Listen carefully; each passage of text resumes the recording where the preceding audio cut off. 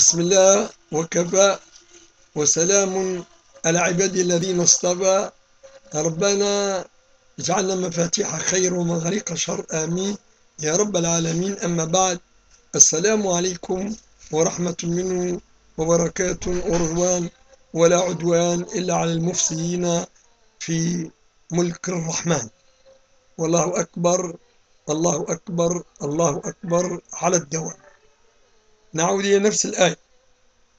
وإنه تعالى جد ربنا ما اتخذ صاحبة ولا ولدا. لا حاجته بأنثى لأنه ما, عندوش جنس كما إحنا. الله يخلق الأجناس. من كل جنس مثلين ذا ماتش يعني ذكر أنثى في كل المجالات. الإلكترونات بروتونات المغناطيس آه، آه، شمالي وجنوبي وانت ماشي. دائما عالم الحيوان كيف كيف؟ ذكور وإناث.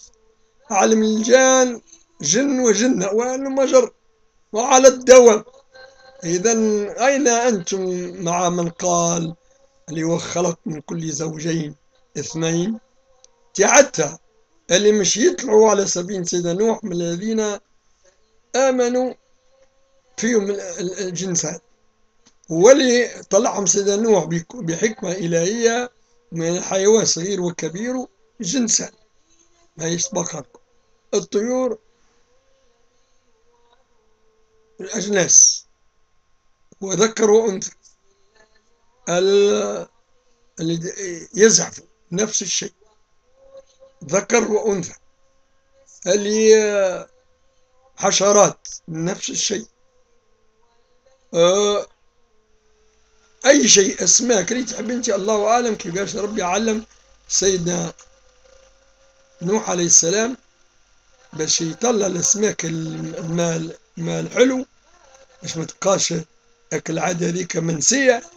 وراه ربي سبحانه وتعالى كيفاش يبقي ذلك الحوت من ذكره وأنثاه باش يستأنفوا حياتهم من جديد على وجه البسيطة حين الأرض تبلع ماء وتمسك السماء وهي كانت تصب.